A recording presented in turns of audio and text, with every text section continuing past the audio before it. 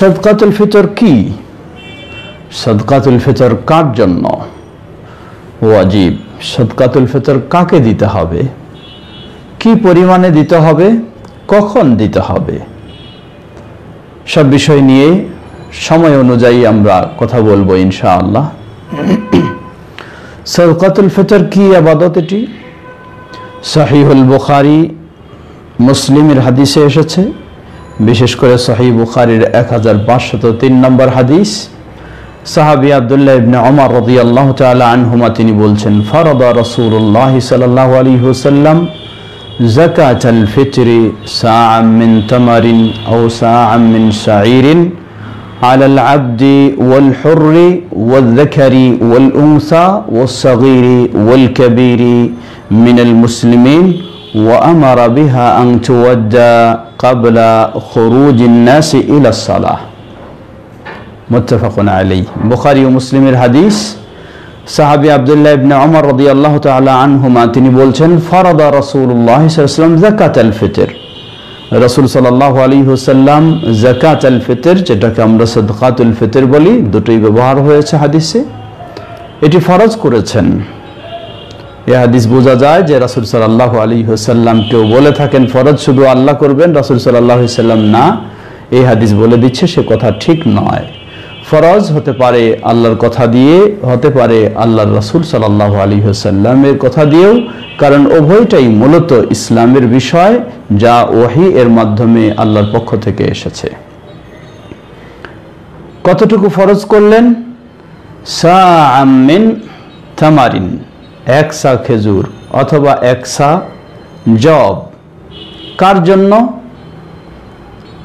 আলাল আব্দি ওয়াল হুররি, কৃতদাসের জন্য, স্বাধীন ব্যক্তির জন্য, পুরুষের জন্য, নারীর জন্য, ছোটর জন্য, বড়র জন্য। মিনাল মুসলিমিন। তাহলে বোঝা যায়, এই সদকাতুল ফিতর বা জাকাতুল ফিতর এটি হলো ফরজ। কার জন্য? প্রতিটি মুসলিম। সেই মুসলিম হতে পারে নারী, পুরুষ, হতে পারে ছোট, বড়, হতে পারে স্বাধীন, পরাধীন, সকল মুসলিমের জন্য। বলা হয় এটি ফরজের জন্য। নেশাব পরিমাণ সম্পদের মালিক থাকতে হবে। জবাব এ কথা সঠিক নয়। নবী সাল্লাহ আলী হোসাল্লাম বলেননি, এই হাদিসে বা ভিন্ন কোনো হাদিসে যে এটি নেশাব পরিমাণ সম্পদ থাকতে হবে এমন কথা বলা হয়নি। বরং এই হাদিস থেকে বোঝা যায়, সেই সদকাতুল ফেতর ওয়াজিব হয়। ঈদুল ফিতরের চাঁদ দেখলে সেই সময় এটি দেওয়ার মতো যার সামর্থ্য রয়েছে, তাকেই দিতে হবে। ছোট বড় সকলকেই। তবে ছোট মানুষেরা কেমনে দেবে? যিনি বাড়ির মালিক, প্রতিনিধি, তিনি নিজের ও সকলের পক্ষ থেকে এই সদকাতুল ফেতর আদায় করবেন। যিনি মারি বাড়ির মালিক, তিনি নিজের পক্ষ থেকে এবং সকলের পক্ষ থেকে এই সদকাতুল ফেতর আদায় করবেন। তাহলে আমরা জানলাম, সদকাতুল ফেতর এটি একটি ফরজ এবাদত এবং এটি ফরজ হওয়ার জন্য নেশাব পরিমাণ সামর্থ্যের প্রয়োজন নেই। বরং সেই সময় যখন এই ফরজ হয় আর ফরজ হয় সেটি ঈদুল ফিতর এর চাঁদ দেখলে। সেই সময় যেই ব্যক্তি থাকবে, অর্থাৎ ঈদুল ফিতরের আগ মুহূর্তে, চাঁদ দেখার আগ মুহূর্তে কেউ যদি গোটা রমজানে ছিলেন কিন্তু মারা গেলেন চাঁদ দেখার আগেই, তাহলে তার জন্য ঈদুল ফিতরে এই সদকাতুল ফিতর ওয়াজিব নয়। যদি কেউ আদায় করে দেয়, তাতে অসুবিধা নেই, কিন্তু ওয়াজিব নয়। ঠিক অনুরূপ কোনো ব্যক্তি গোটা রমজানে ছিল না। রমজানের শেষ দিনে তার জন্ম ঘটেছে। এরপরে ঈদ উল ফিতরের চাঁদ দেখা দিয়েছে। সেই ব্যক্তির জন্য সদকাতুল ফিতর ওয়াজিব তার অভিভাবক তার পক্ষ থেকে আদায় করবে। সুপ্রিয় দর্শক শ্রোতা, এখন আসুন সদকাতুল ফেতের কি পরিমাণ ওয়াজিব?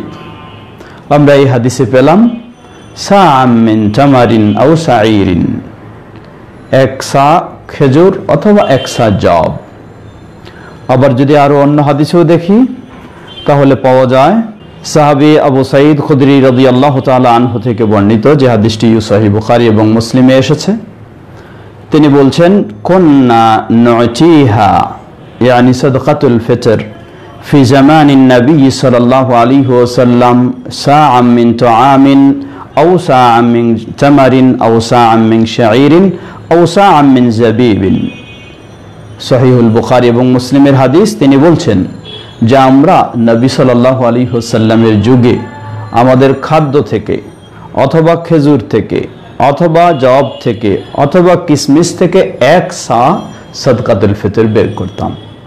নবী সাল্লাহ আলী হোসাল্লামের নির্দেশনার সব হাদিসগুলি প্রমাণ করে আমাদের খাদ্য থেকে এক সা দিতে হবে, অর্ধ সা নয়। বরং আমরা বলব, এক সা দেওয়াটাই হচ্ছে নির্ভেজাল এবং এটাই হলো সঠিক।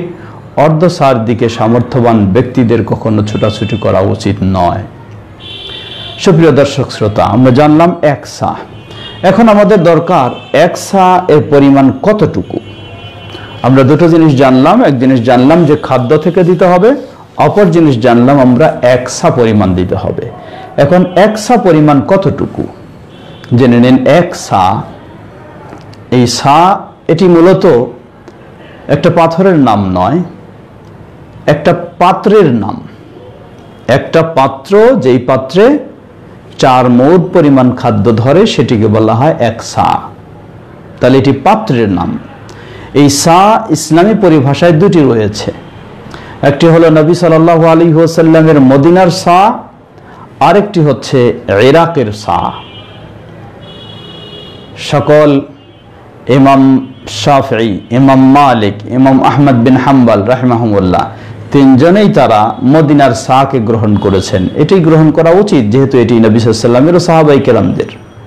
পক্ষান্তরে ইমাম আবু হানিফা রাহিমাহুল্লাহ এবং হানাফি মাঝহাবের মানুষেরা তারা ইরাকের সাকে গ্রহণ করেছেন। আমরা বলব এটি সঠিক নয়। যেহেতু সা যদি একই পরিমাণ হতো, অসুবিধা ছিল না। দুটোর মাঝে বিশাল তারতম্য রয়েছে, তাই সেটি নয়, গ্রহণ করা উচিত মদিনার সা মদিনার সা এর পরিমাণ কতটুকু? ইদানিং আমরা শুনছি কেউ বলেন দুই কেজি চল্লিশ গ্রাম, কেউ বলেন দুই কেজি একশো গ্রাম, কেউ বলেন দুই কেজি দুইশো গ্রাম, কেউ বলেন দুই কেজি চারশো গ্রাম, কেউ বলেন দু কেজি দুই পাঁচশো গ্রাম বা ছয়শো গ্রাম। এই ধরনের বর্ণনা কথাগুলি আমরা শুনছি। তাহলে কোনটা গ্রহণ করব? জবাব বিষয়টি একটু আপনাকে বুঝতে হবে। আমরা বলেছি এটা হচ্ছে একটি পাত্রের নাম। পাত্রের নাম, এর অর্থ হলো এই, পাত্রটা এর মধ্যে যেই খাদ্য ঢোকাবেন, সেই খাদ্যের ওজন হিসাবে এর পরিমাণটা নির্ধারণ হবে।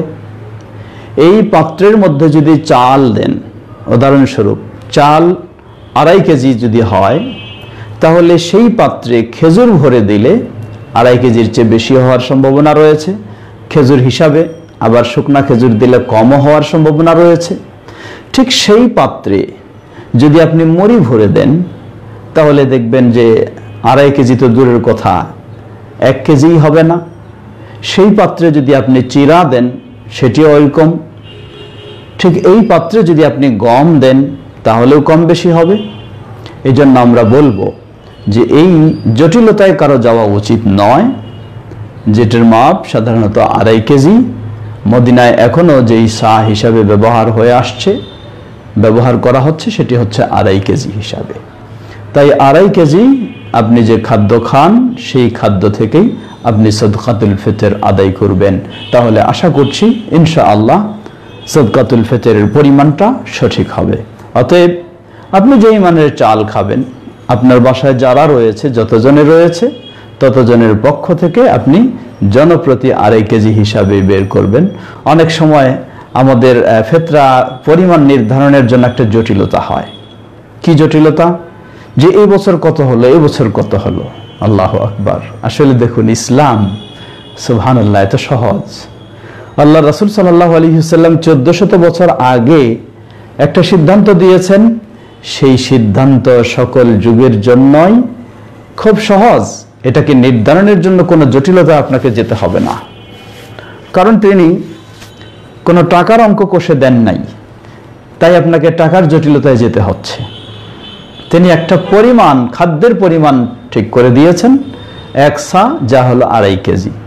আপনি যেই যুগেই হন, যেই জায়গায় হন, যেই খাদ্যই খান, আড়াই কেজি দিয়ে দিবেন বা শেষ। কোনো এ নিয়ে টেনশন নেই, কোনো দ্বিমতের বিষয় নেই। কি নির্ধারণ হলো, না হলো, এটা নিয়ে ভাবার, বসে থাকার কোনো সুযোগ নেই। সুপ্রিয় দর্শক, শ্রোতা, ইসলাম সহজ, আমাদেরকে এভাবেই সহজ নিয়ম দেওয়া হয়েছে।